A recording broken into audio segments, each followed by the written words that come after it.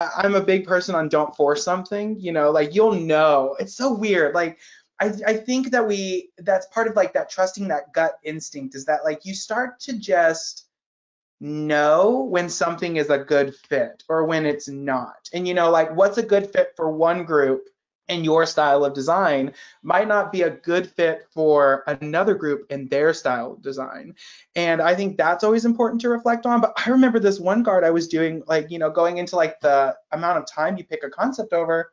I mean, it was like two days before. And then we were like, I just don't know. And then we just like turned our phone on. I was like, I don't know, I like this piece. And we hit it and then like everyone was feeling passionate. Everyone was feeling inspired by it. And i think that too was like when you knew you know whether it's yourself or whether you're working with a group of people it's that moment when you start to look into the room and see like are everyone else's sparks flying?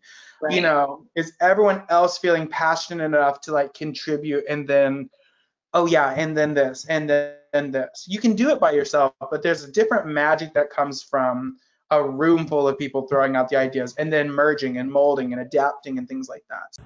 Hello, Tim, and everyone at Marching Roundtable. Congratulations on 1,000 episodes. That's amazing. And I think there's some people at the Blue Devils Color Guard who want to say something.